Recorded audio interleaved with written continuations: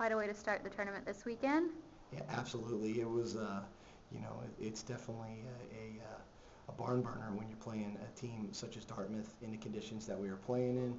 Um, and uh, it's great to great to get a win, uh, especially to start off our tournament.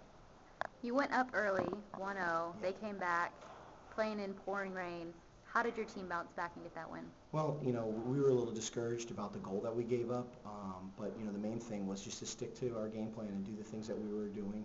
Uh, try to, you know, knock and move, get the ball to move quickly, um, and then uh, and then try to get forward with numbers. And uh, when we were able to do that, uh, we generated a number of good opportunities. Their goalkeeper was hot. I mean, he, he really made some great saves, and, and they're a very good team.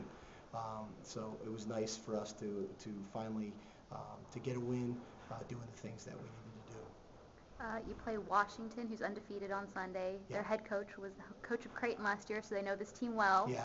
Uh, looking forward to that game. What, what can we expect? Oh, you know, I, I think that they're a, you know, a, a, an up-and-coming team uh, with a with a great new coach who's done, uh, you know, obviously a great job at, at Harvard and uh, and Creighton, and uh, we saw them twice last year. So, uh, you know, they're a team with uh, with with good size and athleticism, um, and uh, you know, we're gonna have to be on top of our game. Uh, they play in the Pac-10. Obviously, you know, our teams. Uh, filled our, our schedule's filled with uh, with great games and, and these are the type of games that are going to make us better uh, you know when we come to the tournament nothing's a give me you know we got to come out and play every game